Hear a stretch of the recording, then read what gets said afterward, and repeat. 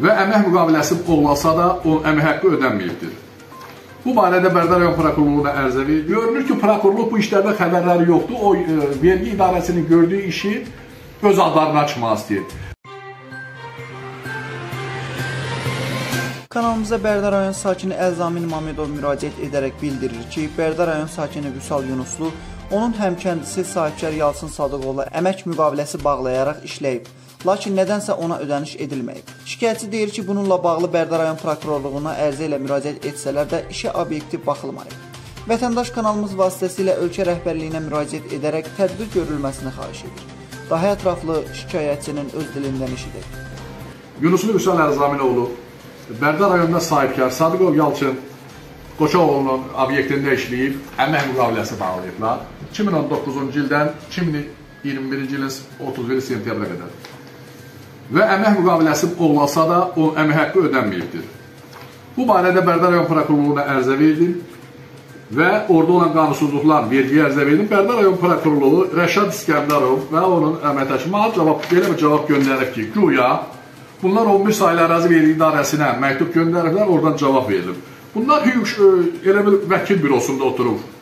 Ancaq məndə Vergilər Nazirliyinin e, məktubu var ki, mənim şikayətim əsasında o vaxtların aparmaq burada yazılır. Aparılan vergi nəzarəti zamanı əhalinin pul operativ vergi nəzarət tədbirləri aparılmaz, vergi nəzarətinin tədbiri zamanı əhalinin pul hesablaşması aparılması qaydaları rəayət olunmaması vəziyyəti pozulduğu və əmək müqaviləsi hüquq və minmədən fiziki şəxslərin işlərinin yerinə işlərin yerinə yetirməsi cəlb edil edilməsi müəyyən edilərək yoxlama nəticəsində qanuni tədbir tədbir görülmüşdür. 5-8-ci ay 2020-ci ildə.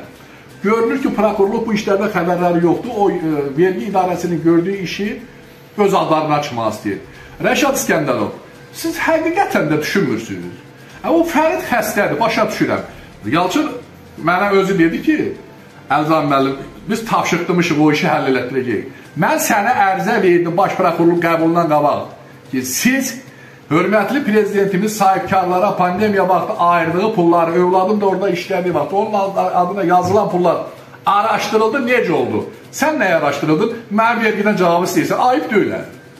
Rəşad İskəndərov bilirsən, sən iş əgiratında iş var ki, polis zabiti uşağa qarşı əxlaqsızlıq edib. O işi gizləmirsən. Canı üçün bunun heç birini səndən keçməyəcəm. Qanacağınız olsun, özünüzü idarə edin, hə?